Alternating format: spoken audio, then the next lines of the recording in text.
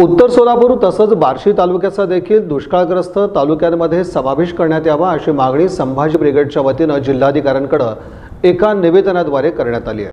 महाराष्ट्र शासनाच्या वतीनं राज्यातील दुष्काळग्रस्त तालुक्यांची पहिली आणि दुसरी यादी जाहीर करण्यात आलेली असून या यादीतून उत्तर सोलापूर आणि बार्शी तालुक्यांना वगळण्यात आला असून त्यामुळं या तालुक्यातील शेतकऱ्यांवर अन्याय होणार आहे.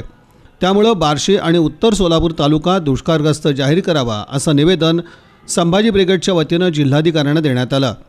सोलापूर जिल्ह्यातील माडा मोहोळ अक्कलकोट पंढरपूर माळशिरस सांगोला करमळा दक्षिण सोलापूर या तालुक्यांचा दुष्काळग्रस्त यादीमध्ये समावेश करण्यात आलेला आहे.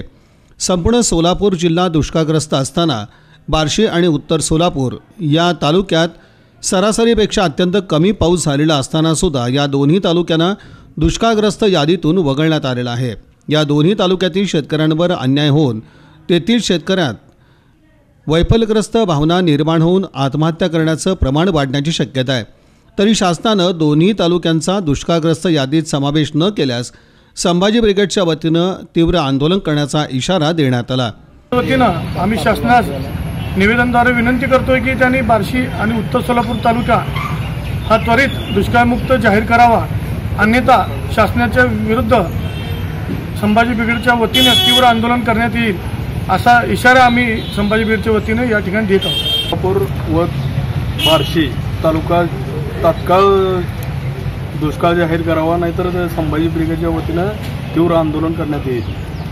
यावेळी संभाजी ब्रिगेड सोलापूर जिल्हाध्यक्ष संभाजीराजे भोसले महानगर अध्यक्ष श्याम कदम उत्तर तालुका अध्यक्ष विकास सावंत दक्षिण तालुका अध्यक्ष विठ्ठल जाधव शहर उपाध्यक्ष सीताराम बाबर संपर्क प्रमुख अविनाश फडतरे जिल्हा उपाध्यक्ष गणेश सातपुते जिल्हा सचिव राहुल सावंत संघटक सुलेमान पिरजादे सागर देवकुळे विठ्ठल बालप संजय काळे नेताजी भोसले अजित पाटील दत्ता गायकवाड आरती हल्ले ज्योती कबाडे आदींची उपस्थिती होती.